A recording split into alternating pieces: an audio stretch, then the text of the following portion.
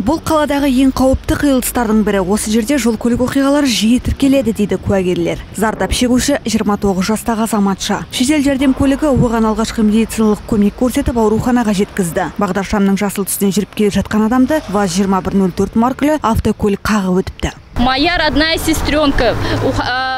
Ол менің туған сіңлім банкке қарай шығып еді. жасыл түске өтіп бара жатқанда көлік қағып кетті. осы жердегі бағдаршамға көлік түйіскеннен кейін оны қайтып қоймады. Қауіпсіздікті күшейту керек қой. қатты жарақат алған сияқты мен ол үшін уайымдап тұрмын. Күн сайын осы жерде жол көлік оқиғасы болады. осылай қайталана береді ме?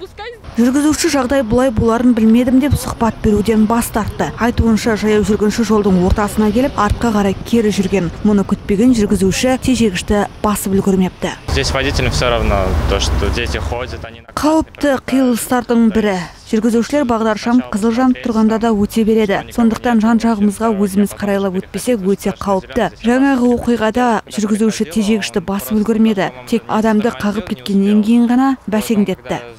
Зардап шегушіге бас сүйегінің жабық жарақаты келтіріліп омыртқасының бел тұсы зақымданған. Бұл жөнінде денсаулық сақтау басқармасы мәлімдеді. Эльмира рахмешева нұрлан қонашев рустам жумашев тдк қырық екі телеарнасы.